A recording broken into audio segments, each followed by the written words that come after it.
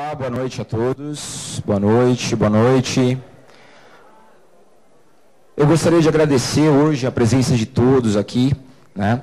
Todo mundo aqui reunido para esse evento, esse evento super interessante que vai trazer aqui o, né, o jornalista Paulo Henrique Amorim e a gente vai propor um debate a respeito da, da questão das atualidades, do que está acontecendo um pouquinho no país e apresentar o um novo livro dele, né?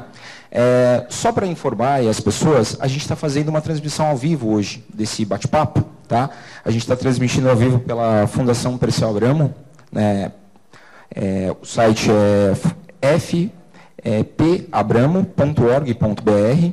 Estamos transmitindo também pelo Linha Direta, pelo site do Linha Direta, que é o linhadireta.org.br, e pelo site, do, pelo blog do Paulo Henrique Amorim, conversafiada.com.br. Eu, assim, sem mais delongas, eu gostaria de chamar aqui os convidados para a gente iniciar esse bate-papo aí. É...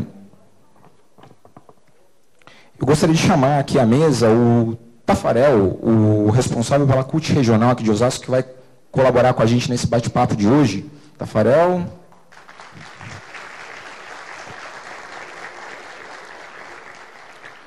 Gostaria de convidar também o professor Júlio Zorzenon Costa, professor da Unifesp, vice-diretor.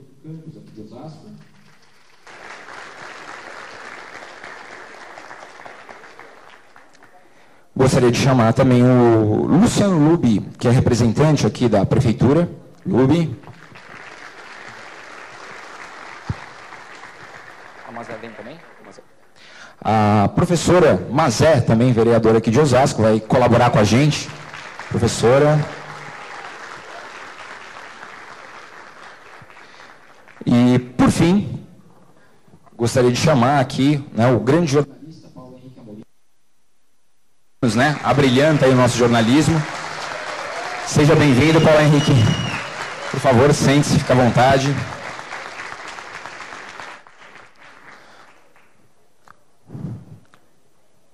Paulo Henrique, eu gostaria que você falasse um pouquinho para nós da sua nova obra, que você apresentasse aí o seu novo livro, Quarto Poder, né, para eu acho que é bacana você falar um pouquinho sobre ele, pode ser? Olá, tudo bem?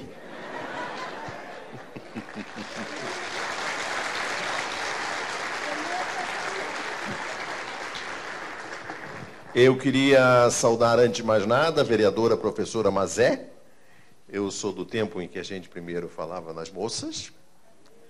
Queria saudar o Tafarel, o professor Júlio, o Luciano, representante do prefeito Lapas, e uma palavra especial ao deputado Marcos Martins, que nos deu a honra de comparecer a esse lançamento do livro. Muito obrigado. Uh, eu queria dizer algumas palavras sobre esse meu trabalho e gostaria de dizer preliminarmente que, na verdade, o que eu sou é um repórter. O meu trabalho ao longo desse tempo todo de vida é o trabalho é, de quem foi sempre um repórter. E esse livro nada mais é do que uma parte da minha vida profissional. E eu fui, por uma série de circunstâncias, eu fui testemunha é, de vários acontecimentos, alguns mais importantes, outros menos importantes, e eu sempre tive o hábito de anotar essa minha, esse meu papel testemunhal, digamos assim, com uns caderninhos, anotava com a minha própria letra, e fui jogando esses caderninhos numas caixas. E depois de muito, muito, muitas viagens, muitas mudanças, e eu consegui finalmente reunir é, numas caixas todos os meus caderninhos. Eu tinha um livro pronto, um livro que começou a ser escrito quatro anos atrás, sobre a história da criação e da consolidação da TV comercial no Brasil e por que, que ela foi uma TV comercial e por que, que não foi uma TV pública ou estatal, como em alguns países da Europa. E esse livro estava quase pronto quando eu finalmente consegui arrumar essas caixas com essas anotações. E o livro, que já estava praticamente pronto, teve que ser refeito para eu poder incluir essas minhas anotações e contextualizá-las ou seja, explicar o que, é que elas estavam fazendo lá. Essa é a história, a minha história, do quarto poder, que é o chamado poder da imprensa, mas que, na verdade, como mostra essa, esse estratagema do meu capista, ele é o primeiro poder. É de fato o poder que comanda o Brasil. E sobre isso eu gostaria de dar aqui algumas palavras sobre os acontecimentos, por exemplo, os acontecimentos de hoje. Não sei se todos me dão a honra de visitar o meu site, Conversa Fiada, que teve é, na semana passada, é, Tafarel, é, por exemplo, no dia em que a Globo divulgou criminosamente aqueles grampos criminosos do juiz Moro, naquele dia o nosso site teve um milhão e meio de acessos.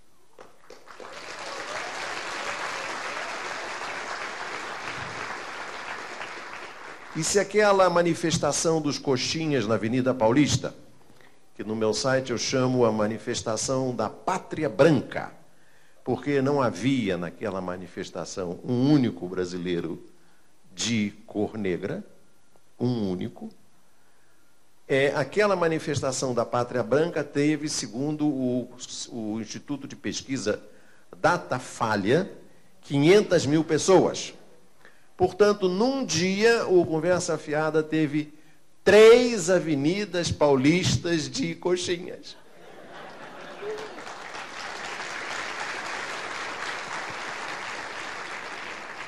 Mas se vocês me dessem a honra de ter visitado o meu site hoje, está tendo uma audiência muito grande, acabaram de me dizer, teriam visto a informação que eu acabei de divulgar, que me foi transmitida por um dos advogados do presidente Lula, o Cristiano, que é um fato singular.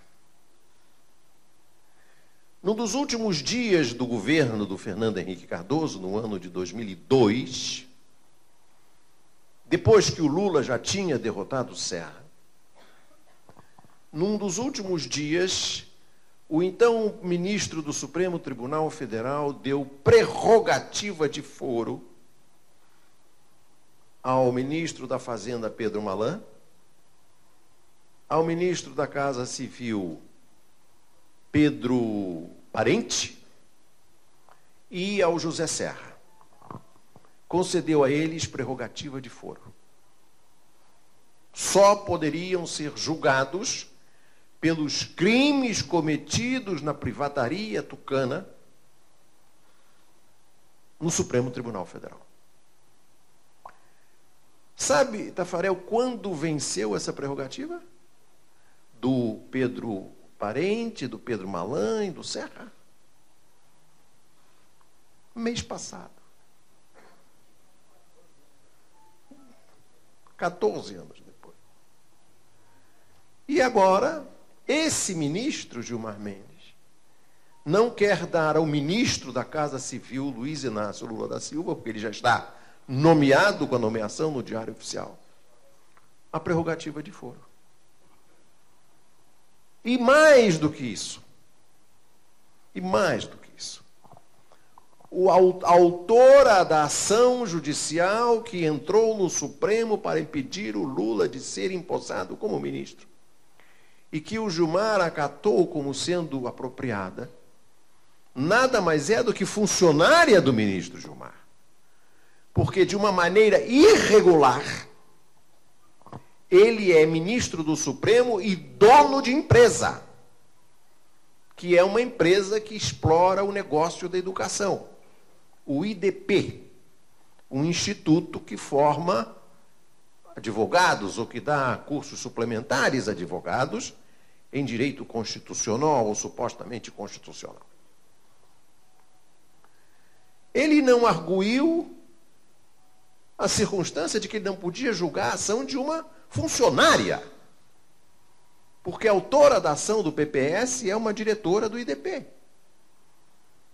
E ele achou que não havia nenhuma incompatibilidade moral. E na semana passada, antes de julgar a ação do Lula, Ele teve um almoço em Brasília com o José Serra e com Armínio Fraga, que no meu site eu chamo de Armínio Naufraga, porque quando ele dirigiu o Banco Central, ele levou o Brasil à breca e, portanto, ajudou a eleger o Lula. A taxa de juros era de 40%. O Brasil não tinha um dólar na, na, nas reservas cambiais. Eles quebraram o Brasil, foram ao FMI três vezes. E naquele almoço estavam o Gilmar, o Serra e o Naufraga. E ele se considera um juiz. Juiz. Ou seja, juiz, árbitro. É como se botassem o presidente do Flamengo para arbitrar o Fla-Flu que teve ontem no Pacaembu. Eu chamo no meu site o Gilmar Mendes de Gilmar, entre parênteses, PSDB-MT, ou seja, de Mato Grosso. Ele é um, um, um, militante do PSDB, sentado na cadeira do Supremo, sem nenhum pudor. Porque ele julga uma ação de uma funcionária dele.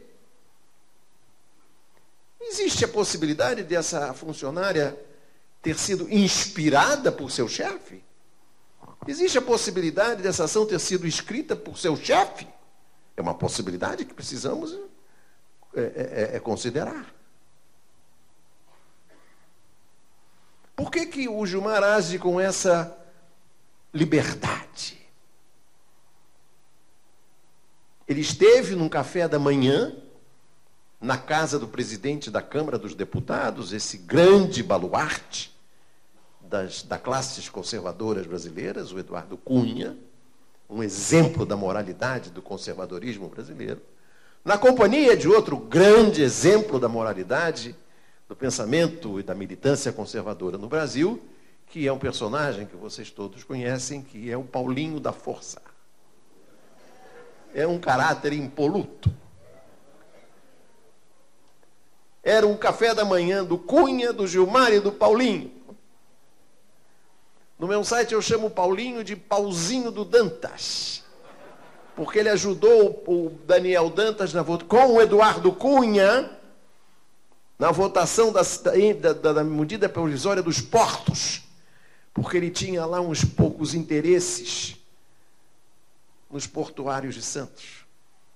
E trabalhava junto com os interesses do Daniel Dantas. É o pauzinho do Dantas o Gilmar, o Eduardo Cunha e o Pauzinho do Dantas foram tratar do rito do impeachment. Segundo a Folha de São Paulo, numa notícia que jamais foi desmentida por nenhum dos três. Ou seja, um ministro, um juiz, vai tratar do rito do impeachment no tribunal e vai julgar o impeachment. E não acontece nada. Nada. Agora, hoje, hoje, o bravo, destemido senador Roberto Requião está liderando um movimento de senadores, um movimento suprapartidário, para entrar no Conselho Nacional de Justiça e impedir que o Gilmar continue sendo ministro do Supremo.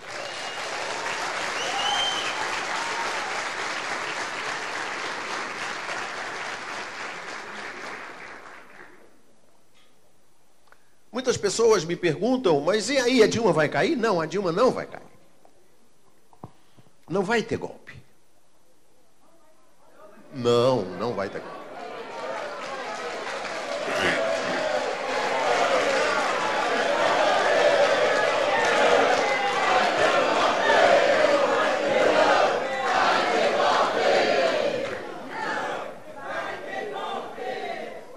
Mas por que, que eu acredito que não vai ter golpe além dessa manifestação eloquente de vocês e de muitas e muitas e muitas pessoas no Brasil? Por quê? Primeiro, porque há isso. Há isso, uma militância. Uma militância.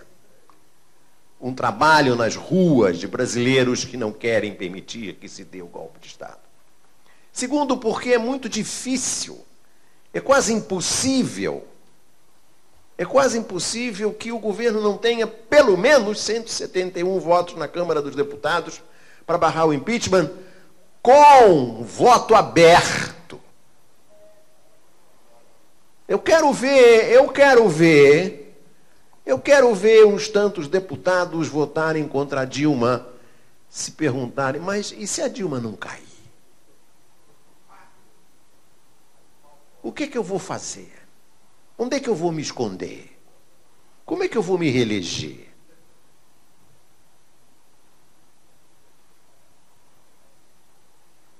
É um, é um fato importante. Terceiro fator que eu acho muito importante: eles não têm rua, porque aquela passeata da Paulista não é representativa do Brasil. 71% dos manifestantes naquele, naquela, naquela aventura da Pátria Branca, 71% votaram no Aécio.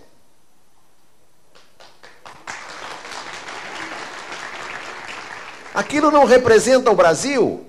E mais, quando o Aécio e o Alckmin apareceram lá, eles foram enxotados.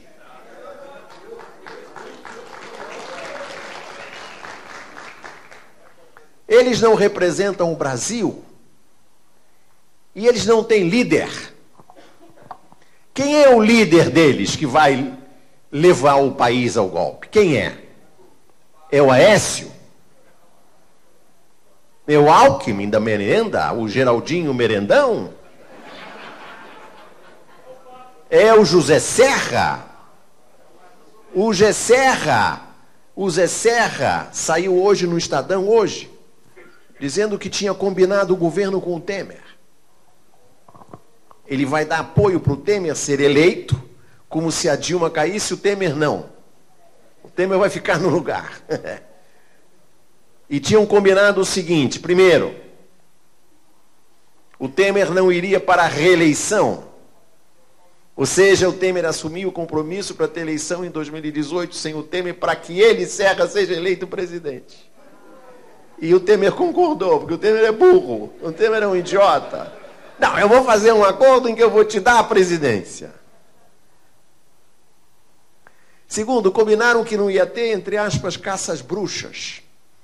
Ou seja, o Temer não ia prender o Aécio. Não ter caças bruxas é isso. É não encarar o Aécio, porque o Aécio é ex-campeão. Ele foi sete vezes delatado. Ele tem uma conta em Liechtenstein, onde se suspeita que o Sérgio Mota também tivesse. Ao perigo dele ir a Liechtenstein pegar o dinheiro dele e esbarrar no fantasma do Sérgio Mota. Se é que o Sérgio Mota tinha essa conta, como se suspeita. No dossiê Caimã. Que o Fernando Henrique não deixou a PF investigar. Vai ser o Serra. O Serra fez esse acordo com o Temer e meia hora depois que o Estadão e, a, e o Conversa Fiada o denunciaram, o Temer mandou dizer, eu não tenho porta-voz, não, fiz, não tive conversa nenhuma com o Serra. Quer dizer, o Serra, o Serra não consegue convencer o Temer, vai convencer a população brasileira? Quem é o outro líder desse golpe? Quem é o outro líder desse golpe? É o Fernando Henrique Cardoso? A Miriam Dutra acabou de dizer que vai entregar os recibos, os documentos da relação dela com a empresa do Fernando Henrique no exterior para sustentar o filho que não é dele. O filho não é dele. Ela tem tudo guardado. É uma empresa.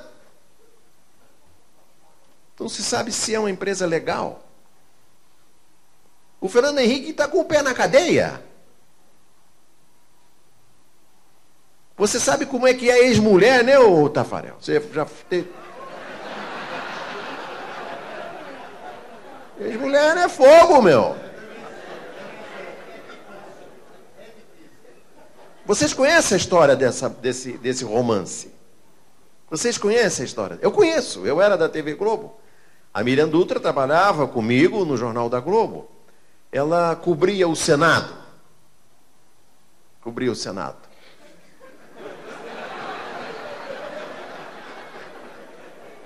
Professora, a senhora não pode rir à toa. Ela cobria o Senado. Teve um romance com Fernando Henrique, que toda Brasília sabia. Quando ela chegou para o Fernando Henrique e disse que estava grávida, e o Fernando Henrique era candidato à presidência da República, segundo a narrativa do meu colega Palmério Dória no livro O Príncipe da Privataria, ele expulsou ela do gabinete aos gritos: saia daqui, sua rameira.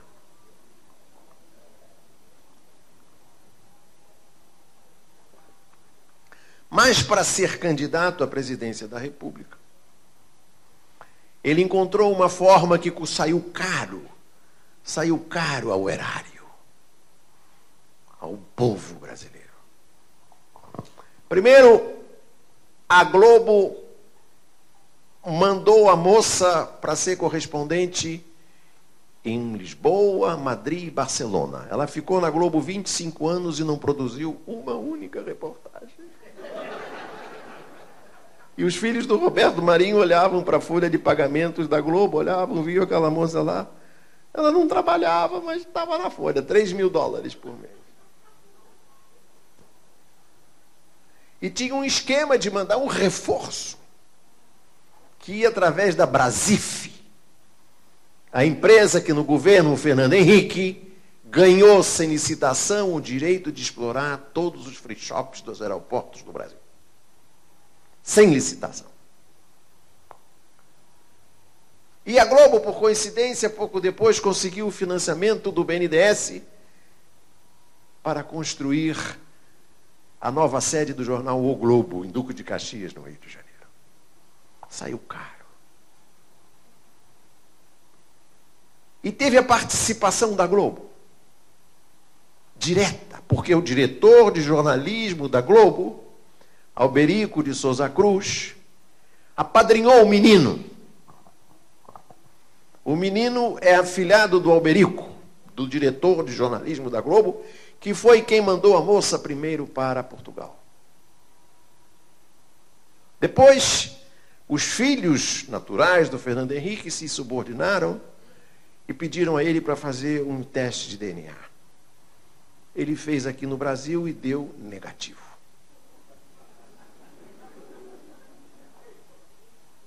Ele ficou intrigado, foi a Nova York com o menino, porque ele se afeiçoou ao menino, e fez um outro DNA e deu negativo. Portanto, é um caso ímpar na história da humanidade em que o sujeito é três pontinhos com dupla certificação. Ele é duas vezes três pontinhos.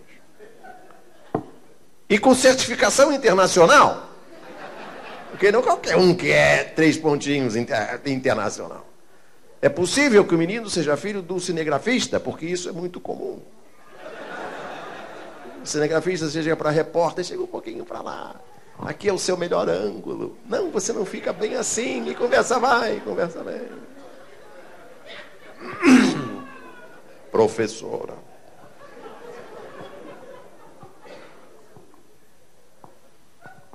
Aí o Fernando Henrique pegou 300 mil euros e mandou para o menino lá em, na Espanha. Você está rindo de quê? Para a Espanha para comprar um apartamento.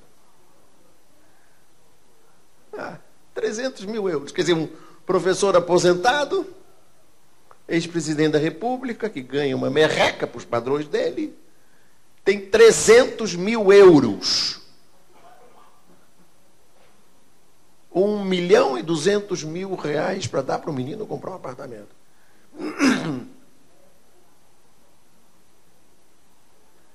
E quem são todos esses grandes líderes? O Aecim, o Serra, o Fernando Henrique. São todos eles grandes heróis do que no meu blog eu chamo o PIG, o Partido da Imprensa Golpista. A Globo. A Globo, a Folha, o Estadão e uma revista que tem aí, que eu não, não, não, não costumo nomeá-la, porque não se pode, né? É, é, eu chamo no meu blog de detrito baixo de maré, Detrito Sólido de Maré Baixa. É, essa revista que anda por aí. Detrito Sólido de Maré Baixa. Eles são o quê? Eles são os heróis do primeiro poder. E hoje o maior deles é o Gilmar. É o Gilmar, que deu proteção em 2002 para o Pedro Parente, para o Pedro Balan e para o Fernando e para o Serra terem o foro privilegiado e agora não querem dar para o ministro Lula. Mas o ministro Lula já assumiu. Agora à noite ele está despachando com a presidenta Dilma. A Folha está dizendo que ele foi lá dizer que não quer mais ser ministro. Não é verdade. Ele foi lá governar. O Lula já está governando. Ele já é de fato chefe da Casa Civil. E ele tomou posse na Avenida Paulista, naquele discurso que ele fez e disse que agora voltou.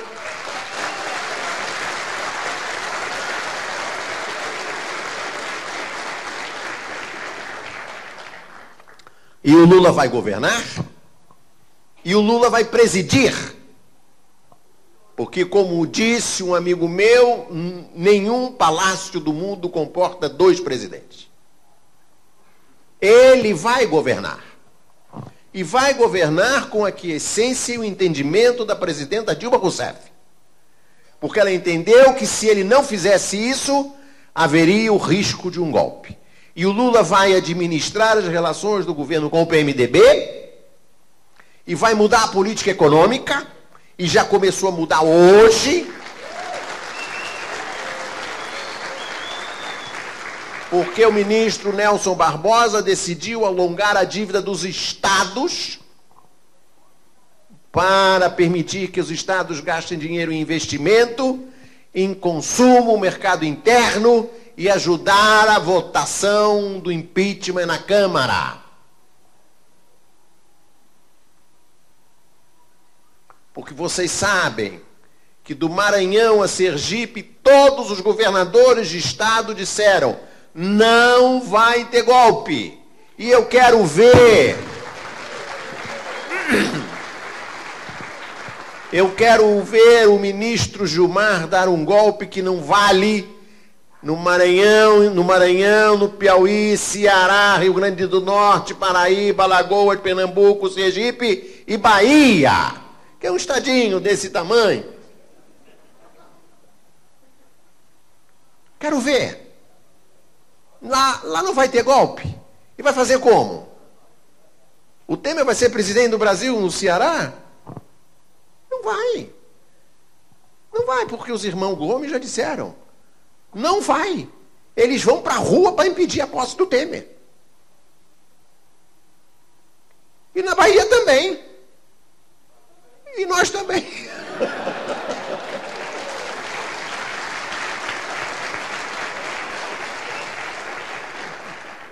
E eu digo isso com muita convicção, porque além de ser carioca, nascido na glória, ser fluminense, salgueirense, aqui em Santos eu torço, aqui em São Paulo eu torço pelo Santos. Eu sou da geração Pelé. Não, Corinthians. Mas eu sou fã da, da Gaviões. Eu tô com a Gaviões. Eu tô com a Gaviões.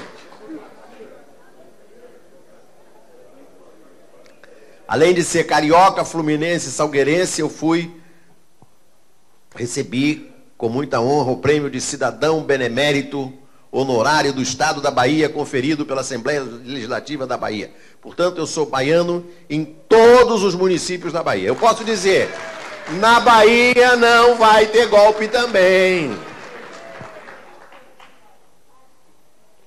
Então, eles não têm voto. Eles não têm líder. Eles não têm massa. Não tem. E o Lula vai governar. E só não se elegerá presidente em 2018 se preferir indicar um outro candidato em lugar dele. O Lula pode ser candidato e ele se eleger em 2018 e em 2022. E nessa última pesquisa do Datafolha, depois dele apanhar do jeito que apanha, ele continua sendo um candidato competitivo. E eu quero ver essa blablarina Silva, essa fadinha da floresta, como eu digo no meu site, enfrentar o Lula num debate.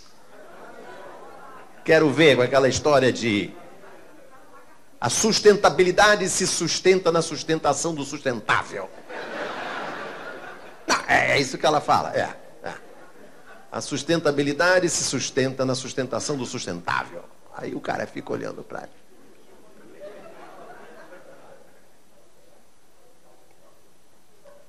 Hoje, nós estamos vivendo uma situação que não tem nenhuma novidade.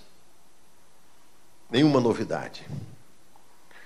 Esse PIG é contra os governantes trabalhistas desde que o presidente Getúlio Vargas deu um tiro no peito para defender a Petrobras. Ele se matou para preservar a obra dele na Petrobras. E é o que eles querem tomar hoje do povo brasileiro. É a Petrobras. Por quem tem petróleo, quem tem, quem tem petróleo tem futuro. E o Brasil descobriu uma das maiores jazidas de petróleo do mundo no pré-sal, graças ao trabalho dos engenheiros anônimos da Petrobras, liderados pelo grande brasileiro Guilherme Estrela.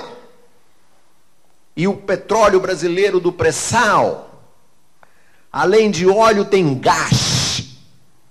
Tem muito gás. Gás serve para fazer fertilizante. O Brasil tem a maior agricultura do mundo e tem que importar fertilizante. E o petróleo do, do pré-sal vai permitir a exploração de fertilizantes aqui, por nós, sem gastar dólar. E é por isso que os americanos querem impedir que o Brasil tenha futuro. Nós estamos discutindo o futuro do Brasil. E o pré-sal é uma maneira de se garantir o futuro do Brasil. E é isso que está em jogo. É por isso que o Serra quer entregar o pré-sal para Chevron. É para isso que eles querem dar o golpe. Para sequestrar o futuro do Brasil e transformar o Brasil numa colônia americana para 20 milhões de brasileiros brancos.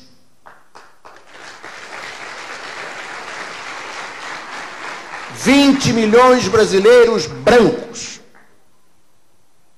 É para isso que eles querem dar o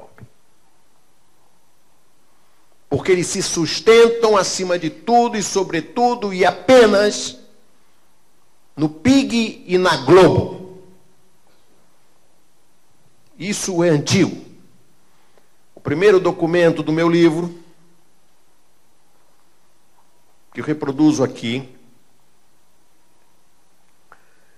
é uma entrevista que eu fiz com o presidente Juscelino Kubitschek, quando ele já não era mais presidente eu conversei sobre o papel do BNDE, naquela época não tinha o S, sobre. Página 38, professor.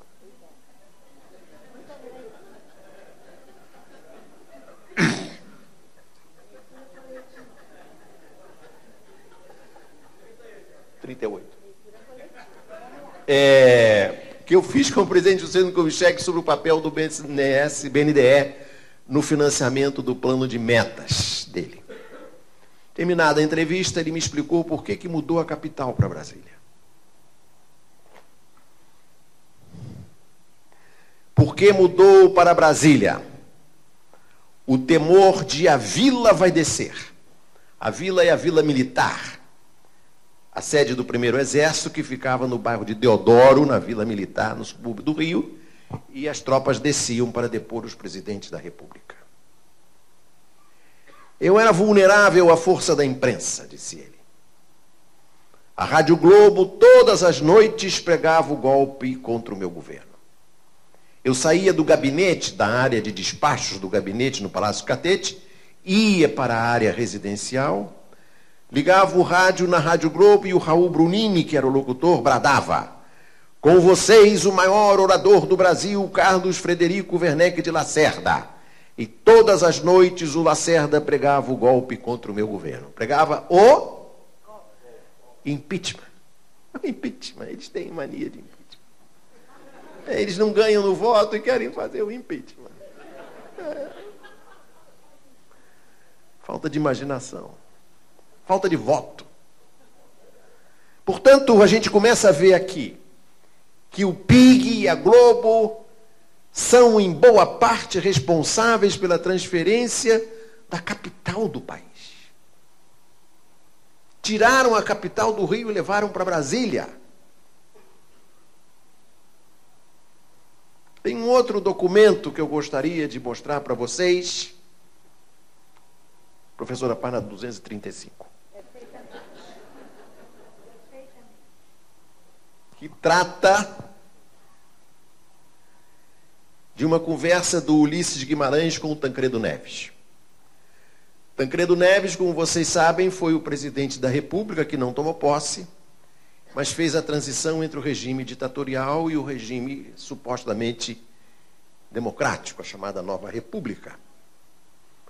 E o Tancredo Neves teve a ideia de levar para o Ministério das Comunicações, que cuida das concessões e das emissoras de televisão, o Antônio Carlos Magalhães, que serviu ao regime militar com fidelidade canina. E ser Tuninho Malvadeza, que servia a Globo.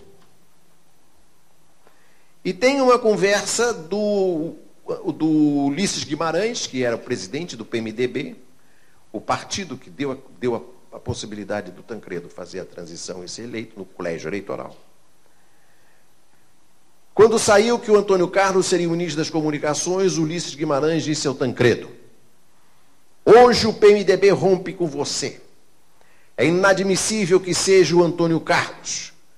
O PMDB rompe com o governo.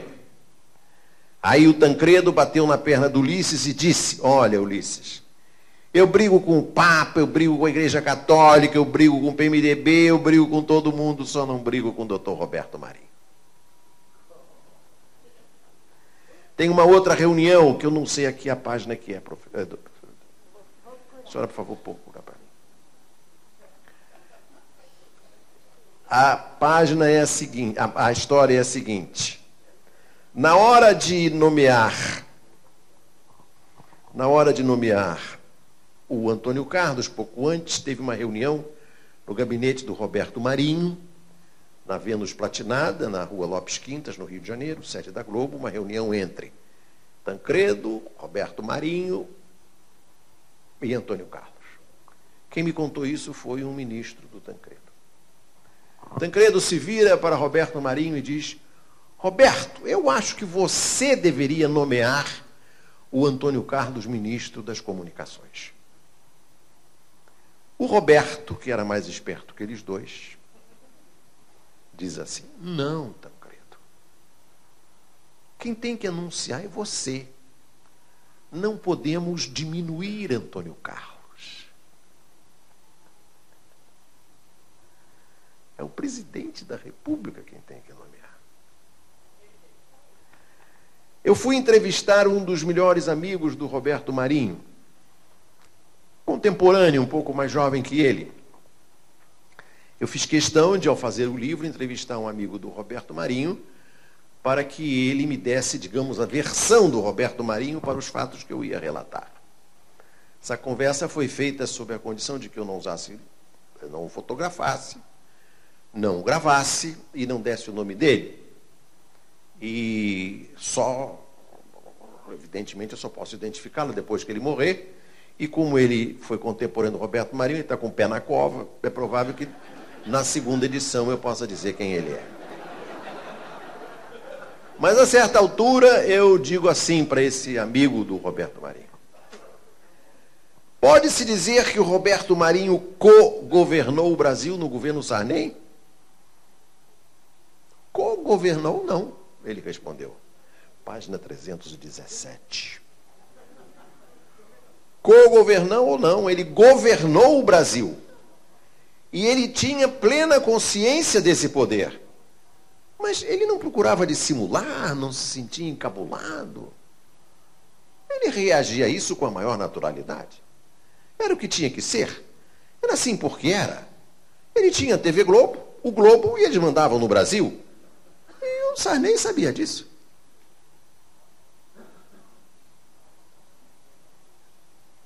Era assim.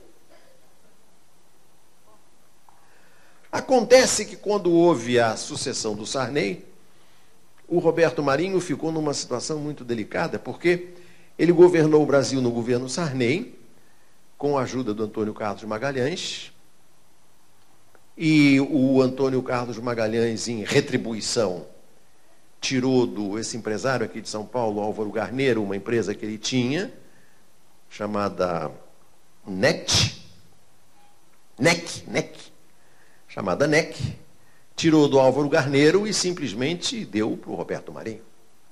A NEC vivia das encomendas do Ministério das Comunicações, ele cortou as encomendas do Ministério das Comunicações, quebrou a NEC e deu para o Roberto Marinho. E aí voltaram as encomendas para a NEC. Em retribuição, o Roberto Marinho tirou a filiada da Globo na Bahia da família do, do Luiz Viana Filho e deu para a família do Antônio Carlos Magalhães, que é a TV Bahia até hoje. Toma lá, atacar. É dando o que se recebe. Mas acontece que o Roberto Marinho estava vendido, ele não tinha sucessor. Ele não tinha controle sobre o sucessor do Sarney. Ele começou apoiando o, o Quércia, depois o Afif, que hoje é ministro da Dilma, e o Covas. Os três não foram para diante, não, não, não, não se firmaram. Quando ele foi apoiar o Collor, o Collor já estava na frente das pesquisas. E o Collor me disse em Nova York, depois de eleito, que está aqui na contracapa, não vou ser como Sarney e comer pela mão do Marinho ele ia montar uma rede alternativa, CNT, a partir do Paraná. E o Roberto Marinho disso. Então, para poder fazer um favor ao Collor, o Roberto Marinho resolveu dar para ele o cargo de diretor de jornalismo da Globo. O Alberico de Souza Cruz. Esse Alberico de Souza Cruz, que tinha feito no Globo Repórter uma matéria histórica sobre o combate do Collor aos Marajás. E se tornou íntimo do Collor. E o Roberto Marinho tomou a deliberação de mandar embora, demitiu Armando Nogueira, que me levou para a Rede Globo e que era o cara que fundou a Globo na companhia do Walter Clark, na companhia do, do Boni, na companhia do Arce, e ele fez o chamado padrão Globo de jornalismo, com todas as características que o jornalismo da Globo tem até hoje, que naquela altura era um jornalismo é, tecnicamente de boa qualidade. Hoje está completamente ultrapassado. Virou uma tribuna de, de pregação ideológica e não é mais nada do que isso. Então, mandou, resolveu mandar o Armando embora. A certa altura, o Armando Nogueira, um dia, que ao fim do Jornal Nacional, ele me chama na sala dele. Me chama na sala dele, depois do Jornal Nacional, eu vou à sala dele. E o Armando me diz assim, professor, é página 310. Me chama na página, na sala dele e diz assim: Há um complô do doutor Roberto, do Roberto Irineu, que é filho dele, do Roberto Marinho. O Jorge Serpa, que escrevia os editoriais do Globo. E do Alberico, esse é Alberico, para me derrubar e colocar alguém aliado do Collor no meu lugar. Eu anotei isso pouco depois desse encontro com o Armando, fui para casa, fui para o papel, anotei com a minha caligrafia, que é perfeitamente legível. A senhora não acha? Perfeitamente. Muito obrigado. Tem na página seguinte, na página 312, a página 312, um documento que eu considero um dos pontos altos do meu livro. São as instruções que o Roberto Marinho deu ao seu diretor de jornalismo, Armando Nogueira como editar o Jornal Nacional e o telejornalismo da Globo. Ele deu três instruções. Três instruções. A segunda instrução é: não quero preto nem desdentado no Jornal Nacional. Assim. Nem preto nem desdentado. A terceira instrução. Se o Brizola se jogar debaixo de um trem para salvar uma criança, e se a criança se salvar e o Brizola morrer, mesmo assim você tem que me consultar para saber se pode ou não pode dar o nome do Brizola no Jornal Nacional. Se você substituir o nome do Brizola e botar Dilma ou Lula, essa ordem está em vigor até hoje. E tem a primeira ordem, que eu considero uma súmula nefanda, um resumo perverso de quem tem a consciência absoluta do poder do dono de um monopólio mediático.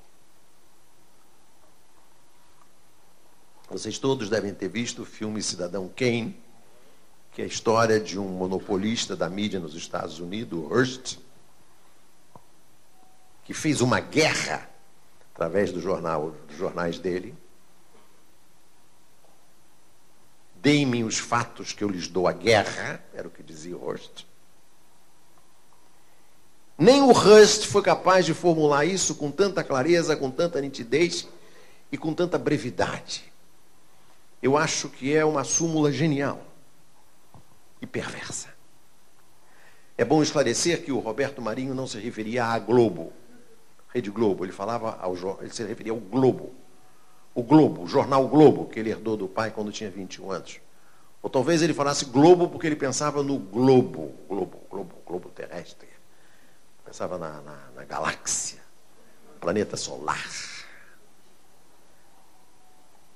A ordem é a seguinte: Armando, o globo é o que é, mais pelo que não deu do que pelo que deu.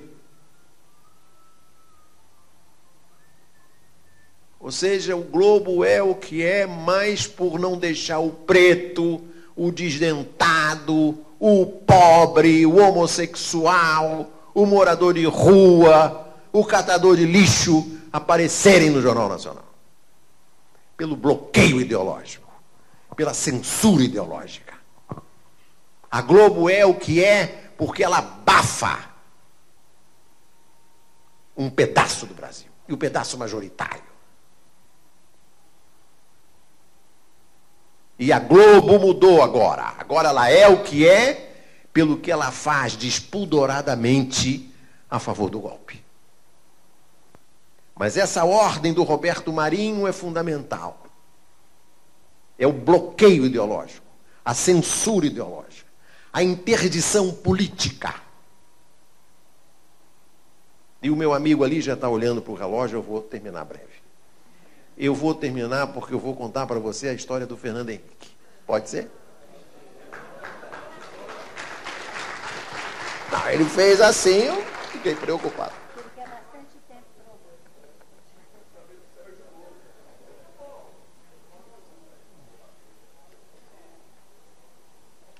O Fernando Henrique tinha deixado de ser ministro da Fazenda para ser candidato à presidência da República e se desincompatibilizou.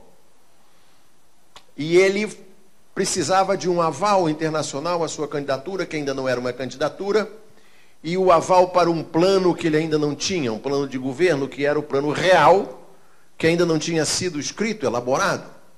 Era uma folha de papel em branco. Mas ele foi ao FMI, foi ao Fundo Monetário Internacional e eu fui atrás dele. Eu e um grupo de jornalistas, claro. E quando ele saiu da entrevista com. Professor, é página 415. Quando ele saiu da entrevista com o diretor-geral do fundo, o Michel Candecis, um francês, eu anotei o que o Michel Candecis disse para os jornalistas. O Michel Candecis está aqui às 18h20 disse assim: Sans excitation, oui, favorable. Favorable. Cardoso, muito trabalho a fazer, mas não longe um programa. Vai atacar a raiz dos problemas. FMI pode facilitar. Irá talvez para concluir uma negociação com os bancos. Aí, inesperadamente, sai de lá de dentro da reunião. Vejam bem, é uma reunião do futuro presidente do Brasil, ex-ministro da Fazenda, de um país que estava encalacrado em dívidas, com o diretor-gerente do Fundo Monetário. E quem sai lá de dentro? Plim, plim, o Bill Rhodes, que era diretor, vice-presidente do Citibank, o maior credor do Brasil e chefe do comitê dos bancos credores do Brasil. Sai lá de dentro o maior credor do Brasil. Candecis, Fernando Henrique e o credor. Diz o Bill Rhodes. Positivo. Sempre confiança FHC. Bancos começam a assinar papéis do Brasil em outubro mas precisa fazer acordo com o FMI. Ou seja, o FMI passa para os bancos, os bancos passam para o FMI. Parece o ataque do Barcelona. Hã? Aí sai lá de dentro o futuro presidente do Brasil. É a página seguinte futuro presidente do Brasil sai lá de dentro.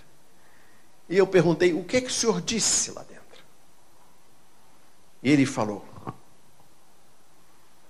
ajuste fiscal com privatização forte. É mesma, eles dizem sempre a mesma coisa.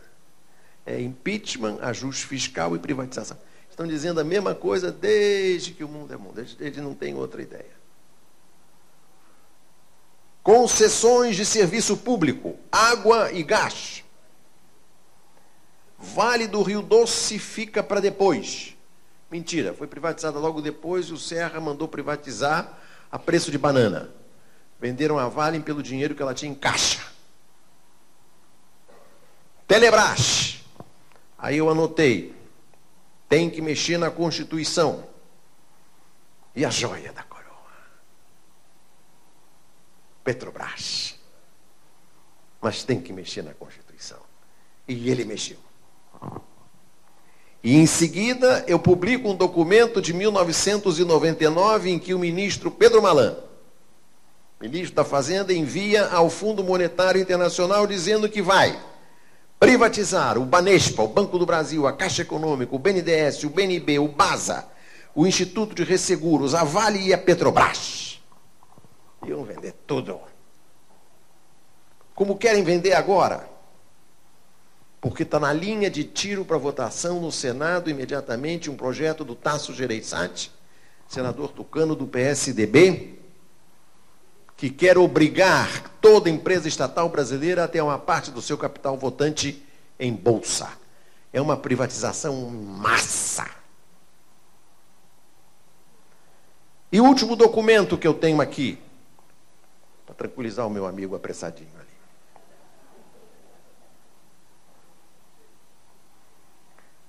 É um documento que eu recebi no dia 31 de outubro de 2006, às 12h45, página 467.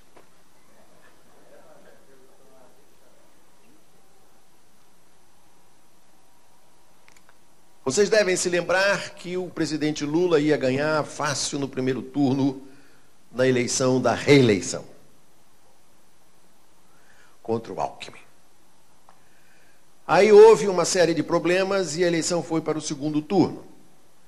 Qual foi o primeiro problema? O primeiro problema é que alguns sujeitos que o Lula chamou de aloprados se meteram a, a dar um dinheiro para os Vedoim, porque os Vedoim iam entregar a revista Isto É, os documentos mostrando que havia um superfaturamento umas ambulâncias superfaturadas no Ministério da Saúde no tempo do Serra.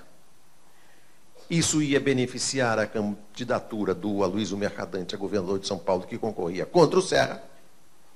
O Serra soube disso, porque a Polícia Federal de São Paulo é tucana desde a República instalada.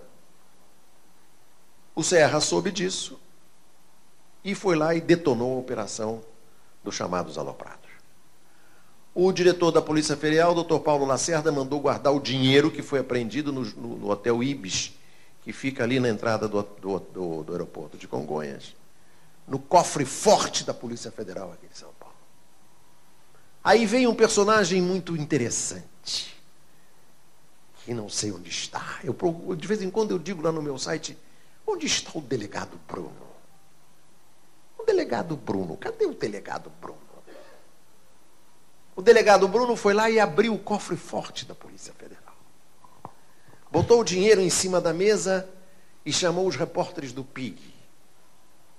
A Folha, o Estadão, a Jovem Pan. Pera, pera, pera aí, não, não, agora não, pera, pera, cadê o menino do Jornal Nacional? Falta, falta o Jornal Nacional, isso aqui tem que sair no Jornal Nacional, ele disse. E o menino do Jornal Nacional era esse que hoje apresenta o Bom Dia Brasil, esse bonitão o Rodrigo Bocardi. Desculpe, o Bom Dia São Paulo. É, mas ele entra também no Bom Dia Brasil. Ele é brilhante o Bom Dia Brasil. E aí o delegado Bruno montou a seguinte patranha, que está reproduzida inteiramente no meu site.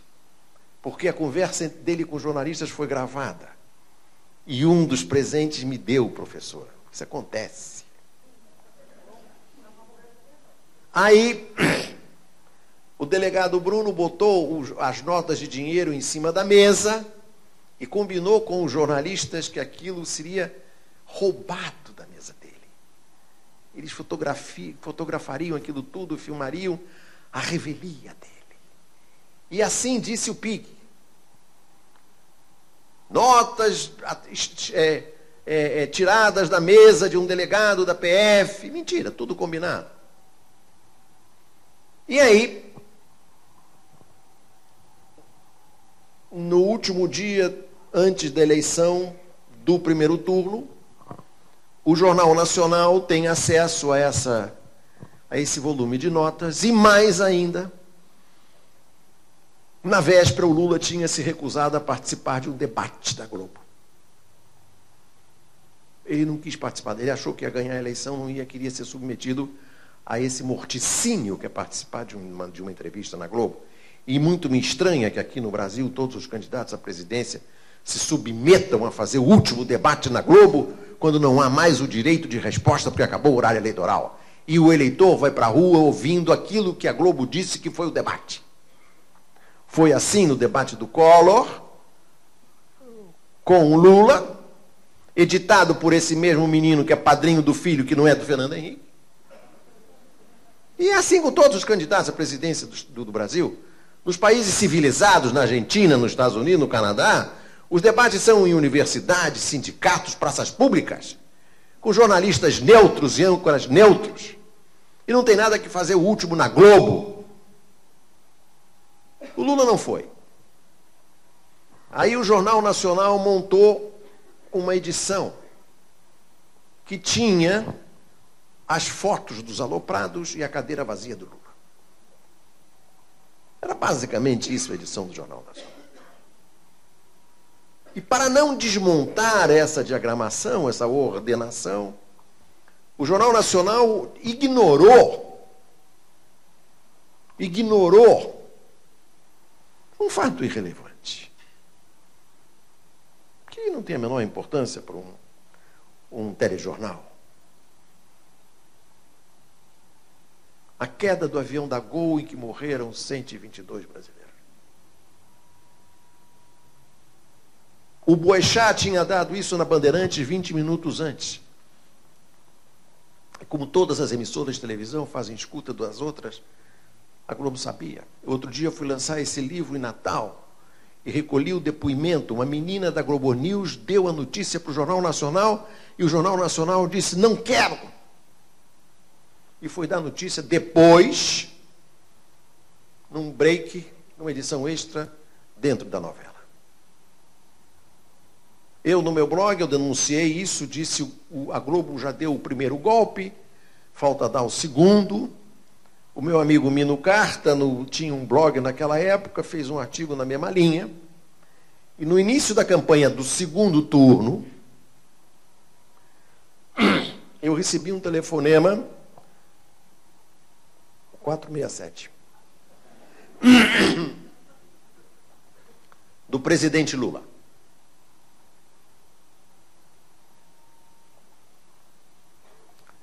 Trinta e um de outubro de 2006 às 12h45. Ele estava com o João Santana para preparar a campanha do segundo turno.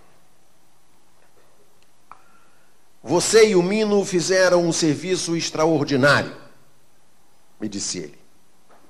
Desvendaram a maracutaia. Aí eu anoto aqui a palavra vingança, com ponto de exclamação e uma seta. Eu não sei o que, que isso significa, não sei quem falou vingança, se fui eu ou se foi ele. Mas ele disse também: por telefone não posso te falar, mas eu vou te procurar para a gente conversar sobre a democratização da imprensa.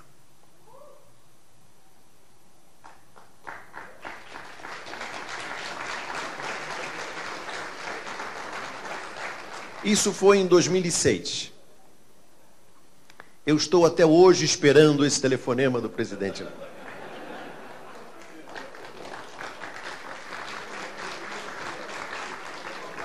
porque nem ele nem a Dilma tiveram o peito de fazer a democratização da imprensa.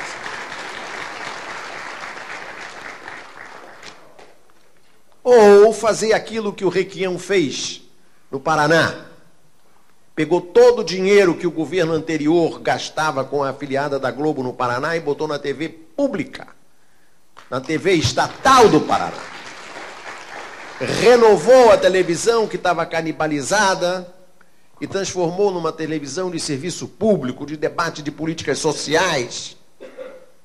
Criou programas de debates, mesas redondas, botou os pretos e desdentados no ar. Entrou em cadeia com a Telesur do Chávez e passou a entrar no Paraguai, no Uruguai, na Argentina, no Chile. Aí ele foi ao Lula, no início do primeiro governo Lula, e contou para o Lula: Lula, pega esse dinheiro da Globo e inventa, cria uma TV estatal boa, competitiva, forte. Aí o Lula gostou da conversa. Disse, porra, que é aquela linguagem elegante do Lula. Porra! Eu imagino que tenha sido. Que ideia boa! Vai lá, vai lá naquela porta lá e conta, conta isso. Aí o Requião foi. Era a porta do Zé Dirceu. Aí o Requião chegou lá, contou a mesma história, aí o Dirceu falou, mas Requião, você não está entendendo. Nós já temos uma televisão. Tem uma televisão? Qual? É a Globo. na suposição de que com o dinheiro da SECOM a Globo ia entrar para o PT. Os filhos do Roberto Marinho iam se filiar aos bancários de Osasco. E o Tafarel ia assinar a ficha. O Disseu se esqueceu de um pequeno fenômeno, a luta de classes.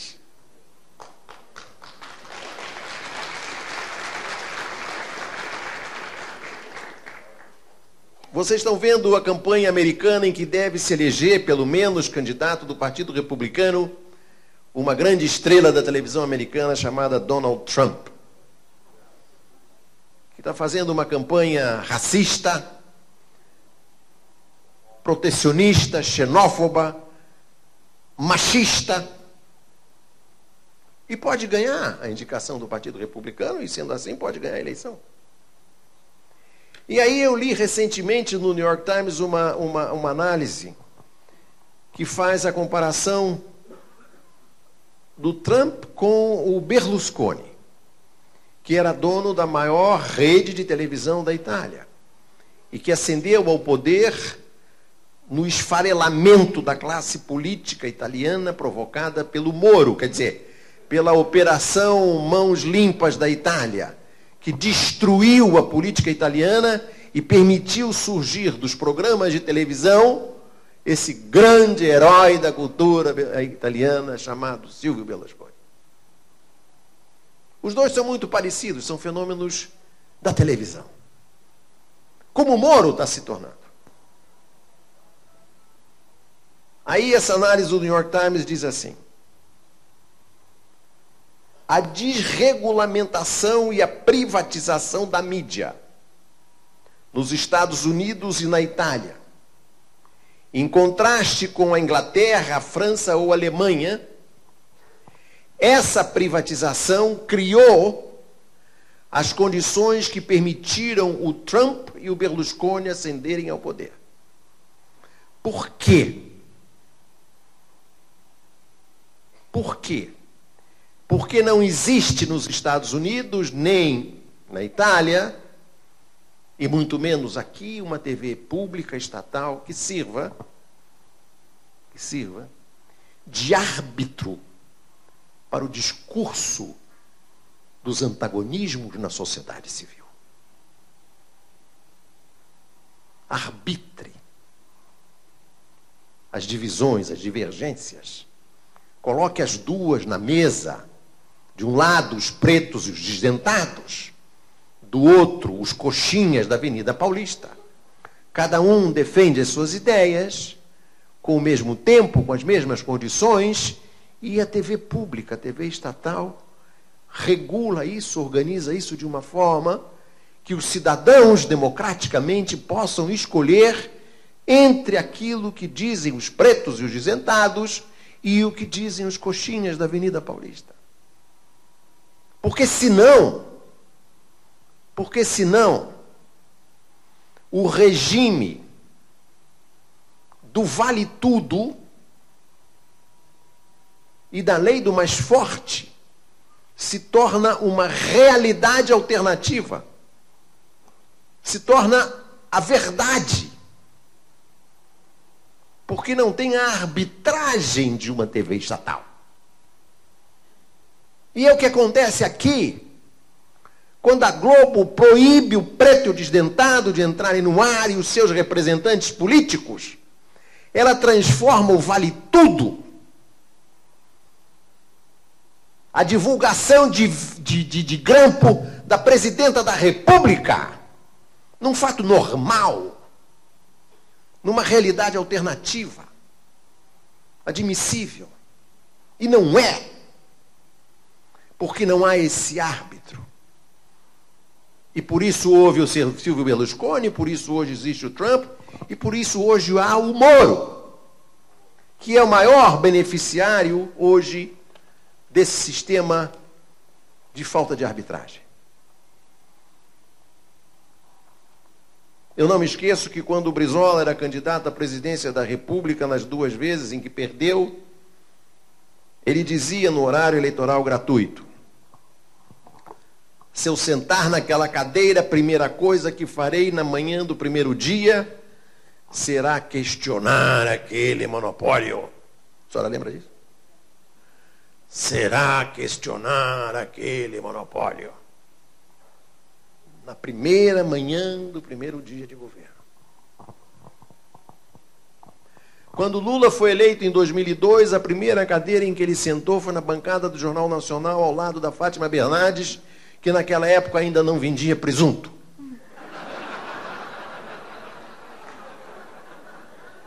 Quando a Dilma foi eleita, a primeira cadeira em que ela sentou foi a da Ana Maria Braga, onde preparou uma omelete que não deu certo.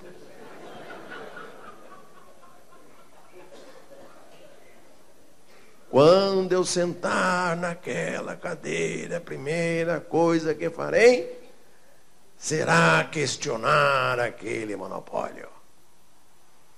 E talvez seja necessário eleger o Lula em 2018 para ele dizer na campanha eleitoral: eu vou questionar aquele monopólio.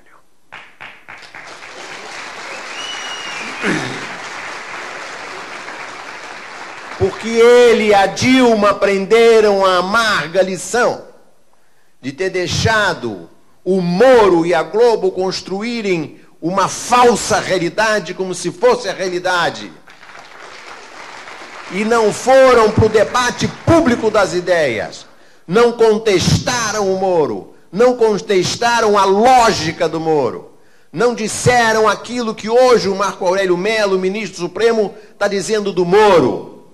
Que o que ele fez com a divulgação dos, dos grampos é crime. É crime porque a, a Dilma tinha um ministro da Justiça que se omitia, se escondia, não ia para o debate, não mandava na Polícia Federal. E Polícia Federal sem chefe.